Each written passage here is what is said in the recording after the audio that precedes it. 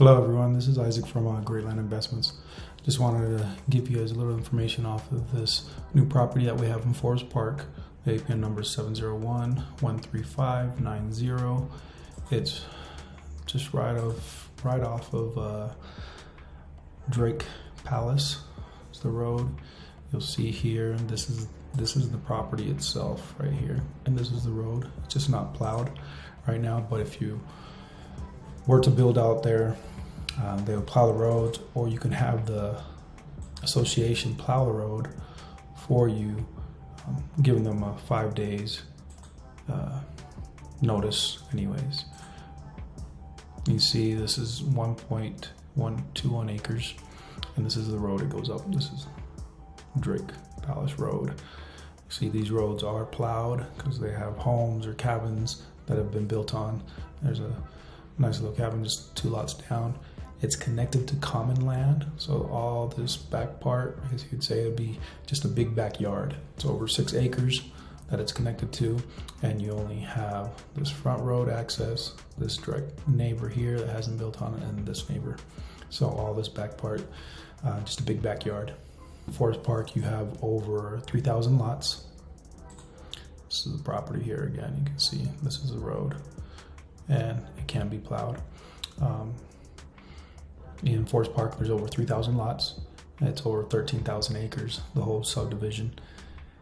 And 5,000 acres of the 13 are common land. So um, it is a gated community. It's very active. The association fees are low. It's only 200, and that's $275 a year.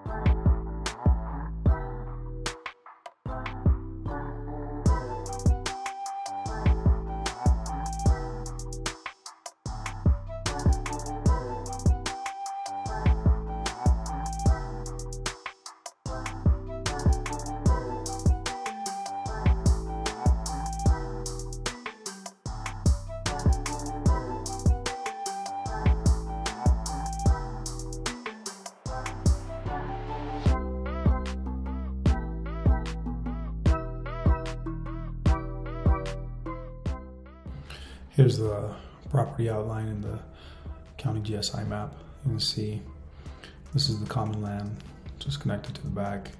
I was mentioning it's the property outline. It's the road that goes up on Drake Palace, Buckley Lane. Here's the GPS coordinates for each corner. It is treed. Um, is also a nice uh, level lot. There's uh, fiber optic internet throughout the subdivision. There's power, electricity, water. You'd have to put in a well, and you'd need to put in a septic as well. You can use the property camp on. If you have any questions, feel free to give us a call or shoot us an email. Thanks.